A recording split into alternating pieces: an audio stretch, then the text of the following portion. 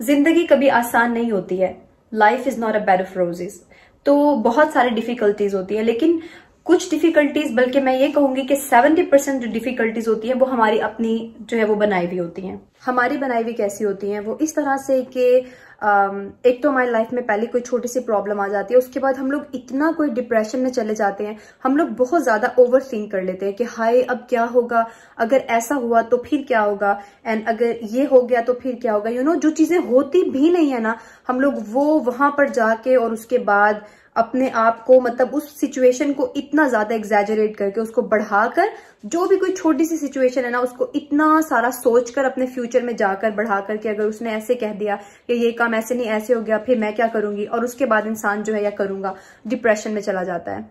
तो the thing is live in the moment सबसे पहले आप ये सोचिए, कोई भी आपकी लाइफ में प्रॉब्लम आती है, आप ये सोचिए कि ये प्रॉब्लम अब तो आ चुकी है। सैड होने से या ओवर थिंक करने से ये नहीं चली जाएगी। सिर्फ़ आपने एक काम करना है, बस एक चीज़ सोच लीजिए।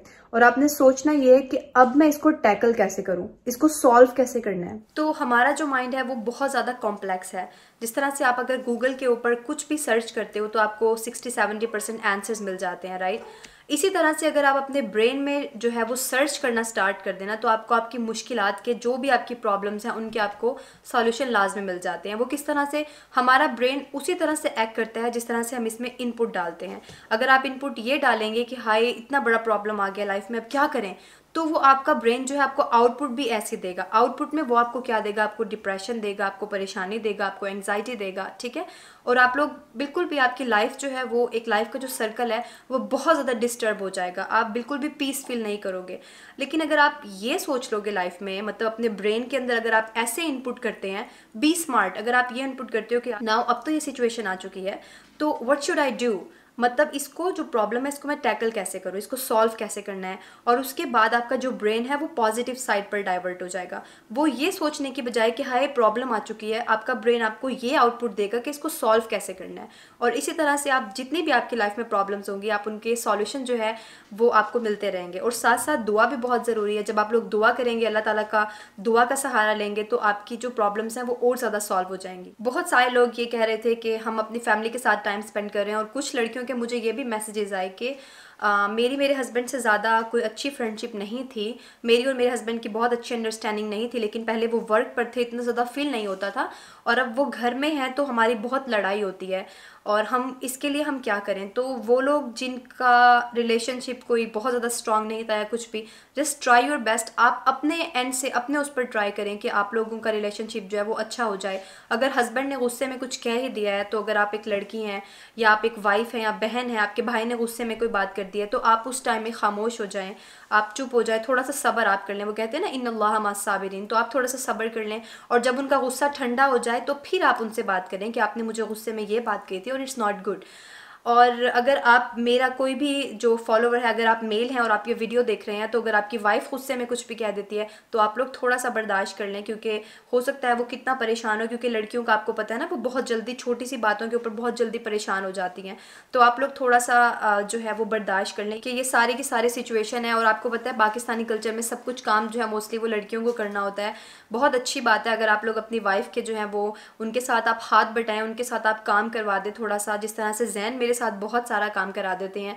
अगर मैं घर की क्लीनिंग कर रही हूँ, मैं रोटी बना रही हूँ, कुछ भी आटा, जो भी कुछ करना होता है, इस टाइप की सारी चीज़ें मैं कर रही हूँ तो फिर जैन जो है वो कुकिंग कर लेते हैं, जो हमने खाना घर में बनाना होता है, वो जैन बना लेते हैं। इसके अलावा जितना भी डस्ट होता है, घर का डस्टिंग कर लेते हैं, और जो भी गार्बेज वगैरह होता है, वो बाहर फेंक कर आ जाते हैं। मतलब दोनों हम लोग मिलजुल कर काम कर लेते हैं। ऐसा नहीं होता कि आप एक ही इंसान को घर में बैठे हुए और आप लोग कह रहे हैं, वाइफ साहब को, अपनी वाइफ को कह रहे हैं, आप बेगम ये ले आए, बेगम आप ये ले आए, बेगम आप ये ले। और अगर ऐसी भी अच्छी बात नहीं है कि अगर बीवियाँ जो है वो बेड पर बैठी हुई और अब कहती हैं कि हमारे हस्बैंड आ गए हम पहले काम करते थे अब बस अब आप करें। हस्बैंड साहब ये बना लें हस्बैंड साहब आप चाय बना लें। इट्स नॉट गुड ठीक है? आप लोग दोनों मिलकर आ, मतलब क्या यार बच्चों की तरह लड़ाई करना आप दोनों एक ही तो हैं। तो अगर हम ये कहेंगे ना कि मैंने ये काम किया अब तुम करो या तुमने ये काम किया मैं मैं ये क्यों करूँ? जहाँ पर ये मैं और तुम और तुम और मैं आ जाता है ना वहाँ पर फिर लड़ाई हो जाती है। आप लोग, तुम और मैं के बजाय आप लोग इस तरह से करें कि हम ये लोग, हम लोग जो है ना वो ये काम कर लेते हैं। कामों को जो है वो आप लोग डिस्ट्रीब्यूट कर लें कि ये काम जो है वो आप करोगे अगर आप बहन भाई हैं तो भी आप डिस्ट्रीब्यूट कर सकते हैं कि आज के दिन में ये काम तुमने करना है और इतना काम मैं करूँगी। और बाकी अगर आप जो है वो सेपरेट रहते हैं मतलब आप लोगों के साथ कोई बहन भाई नहीं है, सिर्फ़ हस्बैंड वाइफ हैं तो आप लोग बहुत सारा फन कर सकते हैं। आप लोग बहुत सारे सीरियल जो है वो वॉच कर सकते हैं। आप लोग अपने बच्चों के साथ जो है वो खेल सकते हैं। आप लोग नमाज़ पढ़ सकते हैं, कुरान पाक पढ़ सकते हैं। अगैन मैं भी अपने पेट्स के साथ खेल लेती हूँ, लिली के साथ टाइम स्पेंड कर लेते हैं हम लोग। आप लोगों के पास अगर पेट्स हैं तो आप लोग पेट्स के साथ जो है वो टाइम स्पेंड कर सकते हैं। दे आर शो क्यूट और पेट्स से खास तौर पे अगर आपके पास कैटो है तो उससे तो आपका डिप्रेशन जो है ना, कहते हैं कि जो, जिनको डिप्रेशन होता है ना डॉक्टर्स भी उनको जो है वो रिकमेंड करते हैं कि आप जो है वो पेट कैट ले लें। उससे आपका डिप्रेशन ये इतनी क्यूट क्यूट शरारतें करते हैं। और इतने क्यूट होते हैं, इनके फेस को देख के ही आपका जो भी टेंशन हो, वो ख़त्म हो जाती है। मैं क्या करती हूँ जी, मैं सुबह सुबह उठती हूँ, उठ के मैं नमाज़ पढ़ती हूँ, उसके बाद मैं थोड़ा सा अपना जो है वो स्टडी करती हूँ स्टडी करने के बाद आ, मैं तकरीबन साढ़े पाँच बजे या छः बजे उठ जाती हूँ। और उसके बाद फिर आ, मैं जो है वो तकरीबन साढ़े बारह एक बज जाता है मुझे मतलब स्टडी करते हुए और सारा। उसके बाद फिर मैं खाना बनाती हूँ मतलब जैन ने ऑलरेडी कोई फॉर एग्जांपल आज इन्होंने चने बनाए थे बहुत मज़े के उसके बाद फिर मैंने रोटियाँ बनाई फिर हमने नमाज़ पढ़ी। और उसके बाद फिर हम लोगों ने बैठे हम लोगों ने बातें की। मैंने अपनी वीडियो एडिट की अपने दूसरे चैनल के लिए रिदा जैन के लिए। बहुत दिनों से वो हेयर स्टाइल की वीडियो बनाई हुई थी, उसको एडिट करने का टाइम नहीं मिल रहा था। तो आज मैंने वो एडिट की है, उसके बाद अब मैं उसको पोस्ट करूँगी आज रात आई होप सो तो अगर आप लोगों ने मेरा वो चैनल सब्सक्राइब नहीं किया हुआ तो आप लोग वहाँ पर देख सकते हैं फ़ैशन के लिए, टिप्स के लिए, और बहुत सारी वहाँ पर मेकअप से related you know girlish things होती हैं। तो अगर आप लोग देखना चाहें, मैं चैनल का जो लिंक है, वो डिस्क्रिप्शन बॉक्स में डाल दूँगी, आप लोग उसको जो है वो सब्सक्राइब कर सकते हैं और देख सकते हैं वीडियो को। और इसके अलावा फिर मैंने थोड़ा सा इंस्टाग्राम यूज़ किया जैन को शेक बना कर दिया, इस तरह से दिन गुजर जाता है। बाकी सफ़ाई कर लेती हूँ, मैं क्लीन कर लेती हूँ घर को। मैं क्लीन बहुत ज़्यादा क्लीनिंग करती रहती हूँ। जब भी मुझे मेरे पास टाइम ही नहीं होता है सोचने का कि हाँ ये क्या हो रहा है? यकीन करें, मैं अपने आप को बिज़ी रखती हूँ। और सबसे बेस्ट जो किया है वो यही है कि keep yourself busy you know जब आप बिज़ी रहते हैं ना तो आपका माइंड जो है वो फोकस करता रहता है चीज़ों की तरफ़। और आपका माइंड जो है वो डाइवर्ट नहीं होता इस चीज़ की तरफ़ कि हाय, क्या हो रहा है, क्या होगा? और सब कुछ ये बिल्कुल बोर और इस तरह से। और अगर आप लोग, बाज़ लोग मुझे कह रहे थे कि मैं ट्वेंटी ट्वेंटी आवर्स जो है वो सो जाती हूँ। मैं फिफ्टीन आवर्स के बाद उठती हूँ। इतना ज़्यादा भी मत सोइए आप, क्योंकि उससे भी आप लेज़ी हो जाएँगे।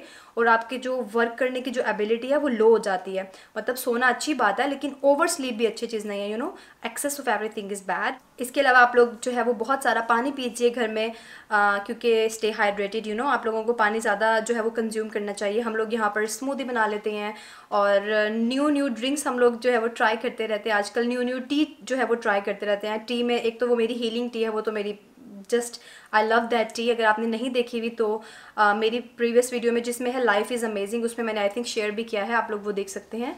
और या uh, मतलब there is no space life जो है वो इतनी अमेजिंग है और इतनी मतलब आप घर में रहकर भी अपनी लाइफ को बिज़ी कर सकते हैं। आप लोग कुछ न्यू चीज़ें ट्राई करें। अगर आपने कुछ ज़िंदगी में कभी कुछ नया कुछ नहीं ट्राई किया तो आप अब ट्राई कर सकते हैं आपके पास टाइम है। सपोज़ आप सोचते हैं कि यार मैं पेंटिंग में बिल्कुल अच्छी नहीं हूँ जस्ट ट्राई अगर आप सोचते हो कि मैंने आ, मैं ऑर्गेनाइजिंग में अच्छी नहीं हूँ try to organise your clothes आपकी ज्वेलरी आपके कपड़े आपकी बुक्स वगैरह, जो भी चीज़ें आप इनको ऑर्गेनाइज कर सकते हैं। सबसे इंपॉर्टेंट आप कोई न्यू स्किल सीख सकते हैं। तो स्किल में क्या है, आप लोग फॉर एग्जांपल जब मैं पाकिस्तान में होती थी और अगर हमें कभी छुट्टियाँ हो जाया करती थी तो मैं अपने सिस्टर के हेयर पर जो है वो हेयर स्टाइल ट्राई किया करती थी डिफरेंट डिफरेंट आप लोग जो है वो हेयर स्टाइल की वीडियोस देखकर आप लोग डिफरेंट हेयर स्टाइल्स ट्राई कर सकते हैं। आप लोग मेकअप लर्न कर सकते हैं और आप बहुत सारी चीज़ें हैं जो आप लोग कभी सोचते थे कि हम लोग लर्न करेंगे और अब आपके पास टाइम है तो आप लोग लर्न कर सकते हैं। और सबसे ज़्यादा जो लोग सोच सोच कर टाइम गुजारे, मैं उनसे ये रिक्वेस्ट करूँगी और उनको एडवाइस दूँगी बेसिकली सब कुछ आपने ही करना है। टोटली मैं आपको जस्ट एक ओपिनियन दे रही हूँ कि अगर आप लोग सो सो कर अपने टाइम पास करेंगे तो इन जब सारी सिचुएशन बेटर हो जाएगी तो तब आप बहुत लेजी फील करेंगे और शायद आपका उतना ज़्यादा वर्क करने को दिल नहीं चाहेगा। One two three four days में भी आप वर्क करें और उसके बाद फिर आपका दिल चाहेगा कि आप सो जाए यू नो जिस तरह से आप अपनी हैबिट को बनाएँगे, वो उसी तरह से बन जाएगी। सो ट्राई योर बेस्ट कि आप लोग अपनी हैबिट को जो है वो अच्छे से डिवेलप करें। आप लोग एट टू नाइन आवर्स जो है वो प्रॉपर स्लीप लें, लेकिन इससे ज़्यादा नहीं कि फिफ्टीन आवर्स और ट्वेंटी आवर्स मतलब इतने सारे आप लोगों के इस बारे में मैसेजेस आए करते थे कि किस तरह से गुजारे, किस तरह से टाइम स्पेंड करें। अब देखिए, पहले भी मैंने एक वीडियो बनाई थी लाइफ इज़ अमेजिंग लेकिन अब मैंने आपको स्पेसिफिकली बता दिया कि आप ये काम कर सकते हो बुक रीडिंग कर सकते हो, और बाकी आप लोग मुझे इंस्टाग्राम पर फॉलो करें ताकि उसमें मैं अब सोच रही हूँ कि डेली कोई ना कोई छोटू सा पेपर वर्क करूँ बिकॉज़ मुझे बहुत सारे पेपर वर्क आता है and I love paper work तो आप लोग मुझे वहाँ पर फॉलो कर सकते हैं ताकि अगर आपके छोटे बच्चे हैं जो जो कुछ मैं बनाऊँ अपनी वहाँ पर मैं स्टोरीज़ में डालती रहूँगी और उसको अपनी हाईलाइट में सेव कर दूँगी तो आप लोग वहाँ से जाकर वो भी देख सकते हैं कि किस तरह से बच्चों के साथ प्ले करना है, किस तरह से आप उनको बहुत सारे टॉयज़ वगैरह जो है, किस तरह से आप उनको बहुत सारे टॉयज़ बना कर दे सकते हैं। So that's it for today I hope कि आपको ये वीडियो अच्छी लगी होगी। अगर आपको अच्छी लगी और इन्फॉर्मेटिव लगी है तो आप इसको अपने फ्रेंड्स के साथ, जिनको आप समझते हैं कि वो इस टाइम में बहुत ज़्यादा you know like sad feel कर रहे हैं, वो डिप्रेशन में आप ये वीडियो शेयर कर सकते हैं। हो सकता है कि हो सकता है कि उनकी जो सोचने का जो अंदाज है वो बदल जाए और उनकी जो थिंकिंग है वो थोड़ी सी चेंज हो जाए। हो आई होप सो तो मैं आपसे मिलती हूँ अपनी कल के वीडियो में। अपना बहुत सारा ख्याल रखिएगा। मुझे और सब लोगों को अपनी दुआ में याद रखिएगा। Good luck and of course stay positive